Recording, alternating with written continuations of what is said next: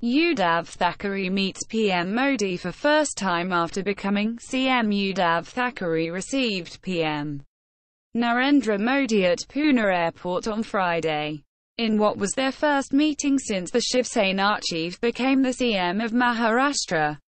PM Modi came to the city to attend a conference of Director Generals and Inspector Generals of Police. Ex-CM Devendra Fadnavis and Home Minister Amit Shah were also present to receive PM Modi.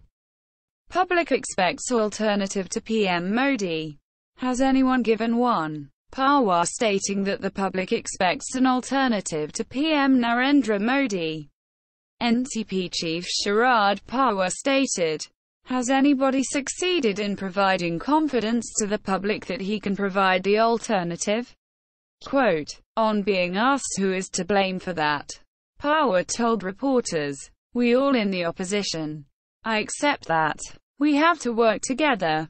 We have to fight. Voting begins for 20 seats in second phase of Jharkhand Assembly polls. Voting began for the second phase of Jharkhand Assembly elections across 20 seats on Saturday.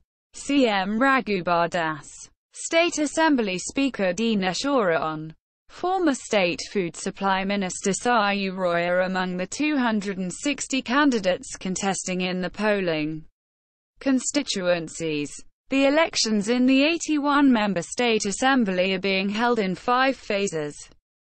Pragya Thakur demands FIR against Cong MLA over threat to burn HER BJP MP Pragya Singh Thakur visited a police station in Bhopal on Saturday night, demanding that a case be registered against Congress MLA Govardhan Dangi for allegedly threatening to burn her after she called Nathuram Godse a patriot.